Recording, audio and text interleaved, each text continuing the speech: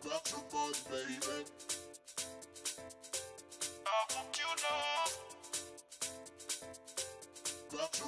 baby. I want you.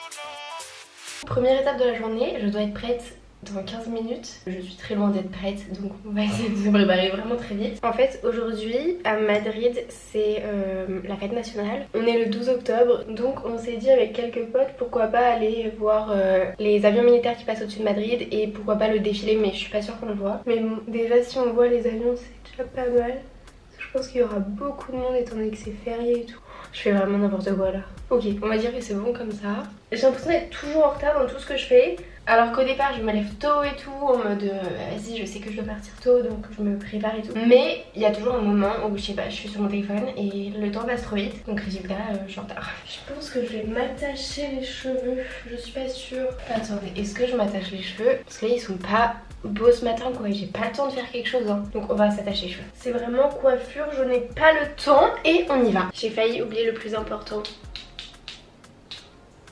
Bon, je mets mes chaussures après, je suis prête. Je dois vous avouer que je suis trop contente de faire cette vidéo parce que, en vrai, je me suis dit, mais je vous ai pas montré Madrid.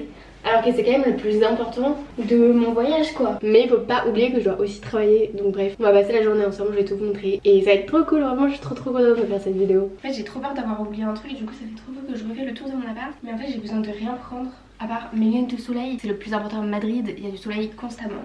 On ne se plaint pas, c'est incroyable. Mais sinon c'est tout quoi. Bon, comme on peut le constater, mon appart c'est n'importe quoi. Si vous entendez un bruit de fond, c'est la machine à laver parce que j'ai commencé à faire des machines à laver parce que c'est catastrophe. Mais du coup, dès qu'on rentre, euh, prochaine étape c'est le gros rangement là parce que vraiment mon appartement je peux plus me le voir.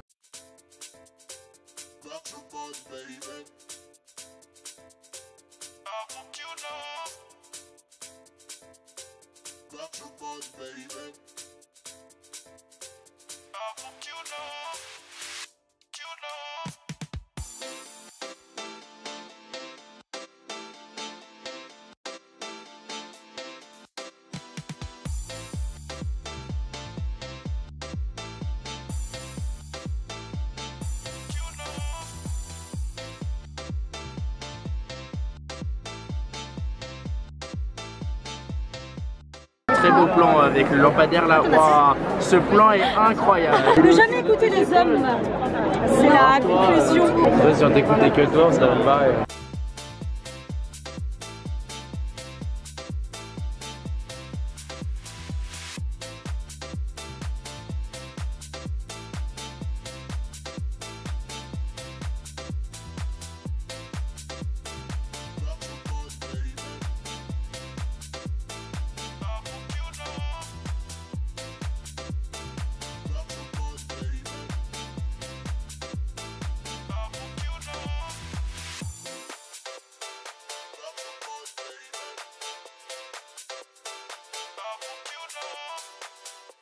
Je viens de rentrer chez moi, c'était incroyable, vraiment l'ambiance euh, trop bien, surtout qu'il y a plein de petits spectacles et tout dans les rues partout pour la fête nationale.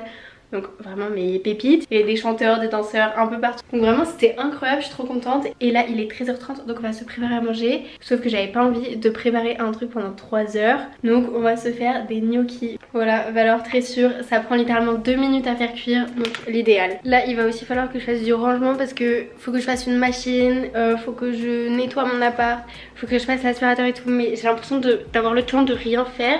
Je sais pas si c'est moi ou en ce moment les journées passent très très vite. Euh, alors déjà j'ai l'impression qu'on est encore euh, début septembre mais non on est mi-octobre. Mais j'ai le temps de rien faire dans une journée. À chaque fois je me fais des tout doux de malade en mode faut que je fasse ça, ça, ça, ça, ça. Et au final je me rends compte que j'ai rien fait, que je dois tout faire le lendemain mais du coup mes tout doux s'accumulent. Et au final bah, j'ai vraiment le temps de rien faire. Par exemple le repassage, ça fait deux semaines que c'est sur ma to do. Du coup, j'ai deux semaines d'accumulation de repassage. Il va falloir que je trouve un moment pour faire ça. Ça va le faire. Mais du coup, on est productif. Et en attendant que l'eau bout pour mes gnocchis, on va ranger l'appart et faire des machines à laver. Nickel.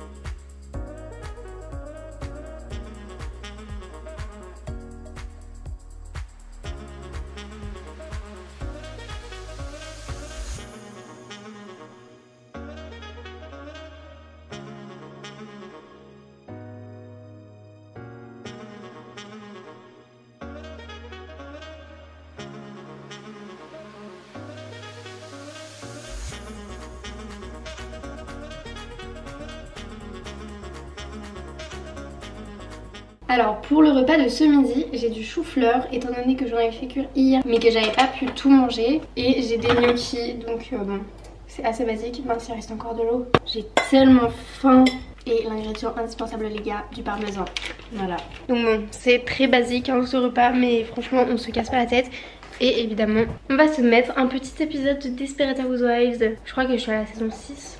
J'arrive bientôt à la fin. Mais voilà, petit rituel, dès que je mange, c'est Desperate Housewives et pas autre chose. Cet après-midi, je suis censée travailler, mais j'arrive pas à me motiver à travailler. Donc je me suis dit que j'allais faire une petite balade dehors. Je pense pendant 1h, 1h30, histoire de m'aérer l'esprit et d'être dans un bon mood après pour travailler parce que là j'arrive pas du tout donc euh, catastrophe et comme ça je vous montrerai un peu plus de Madrid.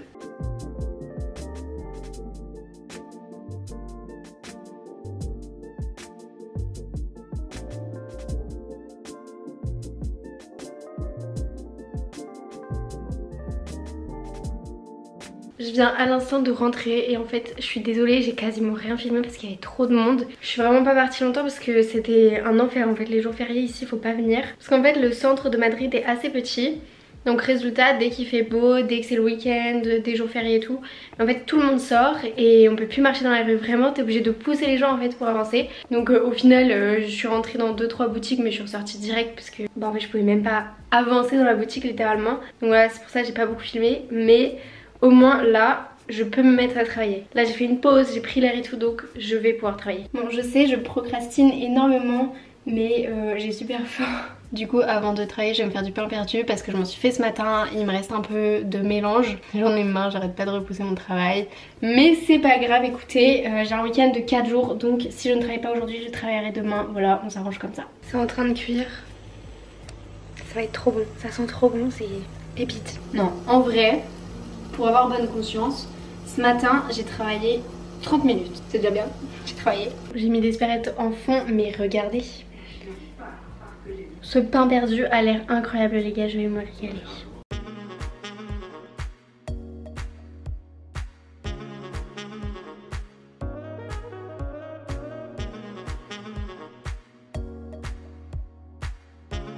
Je viens enfin de fermer mon ordi. J'ai arrêté de travailler. Il est quelle heure là? Il est 19h45 donc j'ai travaillé 2 heures non-stop. Mais j'ai bien travaillé, j'ai été super productive donc super fière de moi et là je vais aller me doucher. C'est un peu la coupure vous voyez entre la journée et le soir. Et ça va me faire du bien parce que là j'ai mal à la tête. Voilà j'ai besoin d'une douche. En ce moment ça se voit que mon visage est fatigué. J'ai des cernes, ma peau est horrible, j'ai des boutons et tout, c'est horrible. Mais en fait le truc vous voyez c'est que j'aimerais trop me coucher plus tôt, me lever plus tôt et tout. En fait le rythme espagnol c'est horrible Parce que déjà mes horaires de cours En fait je termine à 20h Donc 20h je suis chez moi vers 20h30, 20h45 Et le temps que je prépare à manger et tout Il est super tard Du coup bah en fait ça décale tout Si je dois travailler un peu Bah en fait je me couche super tard les espagnols tout est décalé Genre leur pause du midi c'est vers 15h et ensuite ils travaillent jusqu'à 20h, 21h. Du coup ça fait que tout est décalé et c'est assez compliqué d'avoir un rythme bah, bien en fait. J'ai pas mes lentilles donc je ne me vois pas dans le retour de la caméra. je sais pas quelle tête j'ai mais ça doit pas être très glorieux avec toute la fatigue là. Et je pense qu'avant de dormir je vais aller lire un peu. Bon skincare routine terminée, je vous montre juste les produits que j'ai utilisés. J'ai utilisé que 3 produits, j'ai trop la flemme. J'ai pris une lotion pré-soin de chez Origins. Elle est incroyable si vous cherchez une lotion pré-soin prenez celle-ci. Ensuite évidemment l'Advanced Night Repair d'Estée Lauder. Celui-là c'est le format 100 ml. Ouais c'est ça, incroyable, vraiment meilleur sérum de tous les temps. Et pour la crème de nuit j'ai la Revitalizing Supreme Plus Night d'Estée Lauder aussi. Pareil, incroyable, vraiment les produits Lauder de toute façon, pépite. Bon, moi je vais aller dormir donc bonne nuit.